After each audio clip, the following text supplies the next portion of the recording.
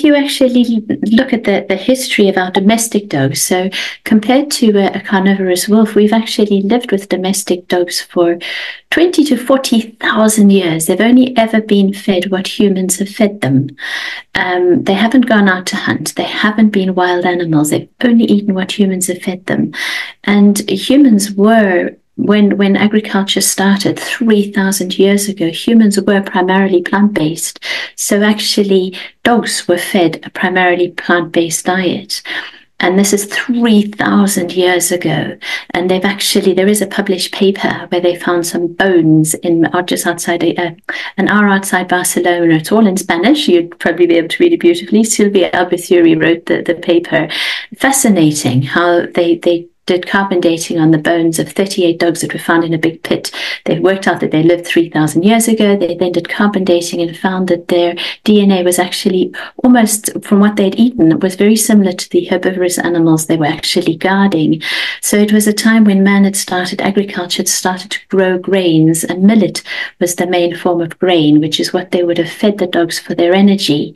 So dogs, the whole DNA of, of dogs has changed compared to a, a, a, carnivorous wolf. So dogs actually need 50% of their diet to be carbohydrate, to get their energy from carbohydrate, whereas carnivorous wolves need only 1.5% of their diet to be starch or carbohydrate, and the rest comes from fat and from protein. And wolves actually live a very short life. Um, they actually only live about six or seven years, if that. Obviously, it's it's harsh. They're on tundra. They're but that's because this incredibly high protein diet is extremely detrimental to the kidneys. And so to actually convert our dogs into carnivorous wolves and feed them a diet that a carnivorous wolf eats, we're shortening their life expectancy considerably. Whereas if you actually feed them what they've adapted to, so if you actually look at even looking at um, at dogs in India that live off the street that aren't owned, they actually live far longer than than dogs anywhere in the world because the food they scavenge has no meat in it because obviously meat is sacred in, in India. And most of the Indians are, are vegetarian of the population. And and these dogs live a much longer life even though it's it's a hard life. They're on the street as well scavenging in, in bins.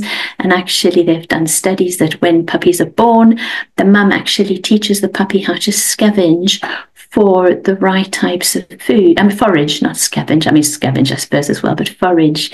So, so what we've got here is what's called adaptation. And obviously, dogs have adapted considerably to what we've eaten.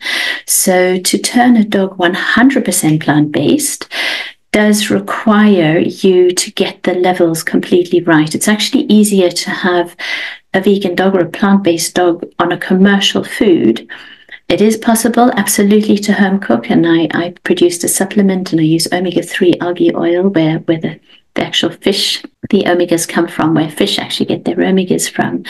For people who want to home cook and, and um, do it, it's a huge commitment, but pe- there's a lot of people out there who are quite willing to do it. And, um, and the changes in dogs that you're feeding the gut microbiome these beautiful, clean proteins, really, but then giving the right level of carbohydrates as well.